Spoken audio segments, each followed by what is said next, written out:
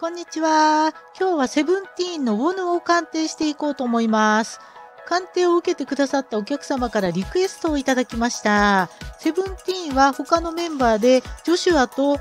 ジョンハンも占っていますので、興味がある方はぜひそちらもご覧ください。ウォヌの性格なんですけれども、優しいですね。とても優しい性格でみんなから愛されるキャラクターだと思います。この方は自然体にしていても明るく朗らかで人から愛されるそういう得な性格です。誰からも親しみやすいと思われるような性格だと思いますね。またただ優しいだけではなくて強いところもあります。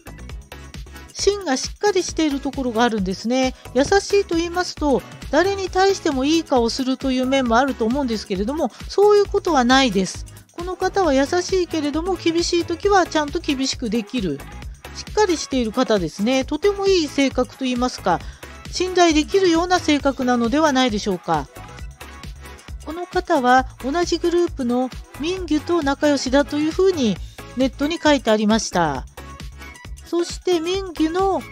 ホロスコープを見させていただいたところ、この方は結構気が強いですね。気が強くて芯も強いですし、推しが強いところもあります。ですから、それだけですと、ウォヌとは仲良しには到底思えないんですけれども、実は繊細なところもあるんですね。とても繊細で優しいところもありますので、そういう優しさ、繊細さがあるがゆえに、ウォヌとも仲良くできるのではないでしょうか。ものはですねやはり優しいですからあまりにも強烈な強い性格の人とは合わないですね人の気持ちをちゃんと理解してくれたりそういうことができる人と仲良くできる傾向がありますですからそのような観点から見ると同じグループの中では一番仲が良さそうなのはディエイトだと思うんですね。ディエイトとはとても相性がいいと思います。2人は付き合っていて楽だと思うんですね。すべて言葉に出して話さなくてもなんとなく相手が思っていることが分かってしまうという価値観が似ていますからそういう点でも楽だと思いますし自然と仲良しになってしまうようなところがあると思います。また、ウォヌはディエイトのことを面倒見てあげたいなとなんとなく構ってあげたい、面倒を見てあげたいと、そういうふうに思ってしまうところがあるんですね。そしてディエイトもそれに感謝してさらに仲良くなると、そういう傾向があると思います。あとですね、ウォヌから見て会話をしていて面白いなと思ったり、刺激を受けるなと思える関係になるのは、ドギュ、ドギョムとバーノンとディノですね。この3人からは刺激を受けられる面白いと思える関係となると思います。とても深く仲良くなれるというよりも会話をしていて楽しいと刺激を受けられるそういう関係になると思います。あとですね、宇治ともまあまあ仲良しなんじゃないんですかね。ボヌは宇治に対して面倒を見てあげたいと放っておけないなと思ってしまう傾向があると思います。そして世話を焼いてしまうと。そういうところですね。あとは、純と星とも話が合うと思います。ボヌは結構おしゃべりだと思うんですね。楽しい会話を通して人と仲良くなるというところもありますし、情報収集などが好きで、新しい情報に飛びついたりですとか、新しいことをするのが好きと、そういうところがありますが、そこがこの2人と似ていますので、話が合うんじゃないでしょうか。ですからセブンティーンの中にたくさん仲良しさんがいらっしゃいますね。気が合うメンバーがいるのでいいのかなと思います。この方はセブンティーンの中でラップを担当しているということなんですけれどもこの方ラップ合ってますね。この方の発言ですとかこの方が発する言葉には力強さがもともとあるんですね。また人から注目されるような話し方ですとか声を持ってますので、そういう点でもラッパーとして向いていると思います。この方の発する言葉ですとか声は、なんとなく引き寄せられてしまう。この方が声を発していると聞かないとならない。そんな風に思ってしまうような魅力があります。そしてこの方は相当集中力がある方ですね。頭の回転も速いです。そしてその集中力を長い時間、長い期間保つことができます。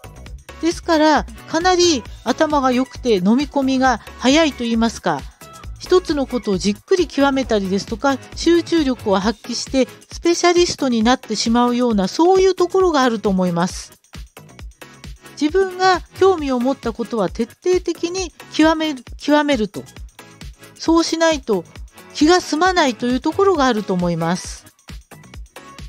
ですからこの方は芸能人ですけれども芸能人以外にも何か一つのことを根気よく極めていくような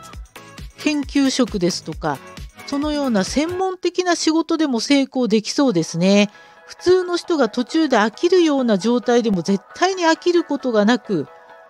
ずっと続けていくことができる性格です。かなり計画性がありますし粘り強い性格と言えます。ただちょっとプレッシャーに弱いところがあるかもしれません。とても集中力があって頭もよく素晴らしいのは確かなんですけれども本番に弱いと言いますかプレッシャーに弱くて精神的なダメージが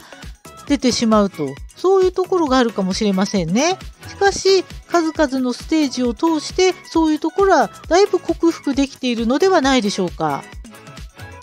この方の好きな女性のタイプです。好きな女性はおしゃべりで会話を通して仲良くなれる人となります。ですから外見がどうのこうのというよりも話が面白い人、一緒に話していて盛り上がる人、そういう人と一緒に過ごしたいと思っていますね。ですから顔だけ良くても会話が盛り上がらず聞き上手でもなくただ可愛いだけという人とは付き合わないと思います。好きな女性に対しては気軽に友達感覚で話しかけるところがあると思います。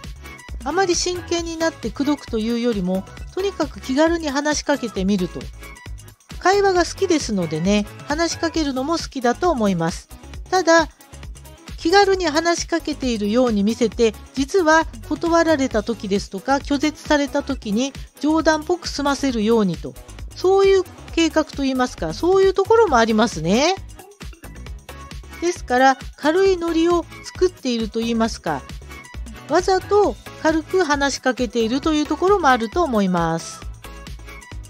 そのように軽々しくと言いますかあまり重くない雰囲気で女性に対して話しかけるところはあるんですけれども実際に付き合い始めると甘えん坊なところも出てくると思います。また女性に対して世話を焼くのもまあまあ好きですし世話をしてもらうのも好きだと思います。そして本気になって好きになった女性に対してはあまり器用に振る舞えないというところがあるかもしれません。何とも思ってない女性に対しては軽々とと言いますか気軽に話しかけたりできるんですけれども本気になると不器用になってしまうというところもありますね。そのようなところも含めてこの方の素敵な魅力だと思います。この方は人間関係においてメンバー同士の仲間内でもまた女性に対しても激怒して怒るっていうことがあまりない方だと思います。人間関係を上手に築いていくところがあると思いますね。しかし当然ですけれども自分のことをきちんと扱ってほしい尊敬してほしいですとかそういうプライドが高い面もありますので優しいからといってないがしろにしてはいけませんね。この方は親しみやすいと思ったら実は俺様と言いますかちょっとプライドが高いところもありかといって軽いノリでいろんな人に話しかけたりとそういう気軽な面もあったりといろいろな複雑な面があると思うんですね。複雑と言いますかいろいろな面を見せてくれる方だと思います。ただ基本的にはとても優しくて裏表がない方だと思いますし会話も上手ですので非常に魅力的ですね。以上となります。今日もありがとうございました。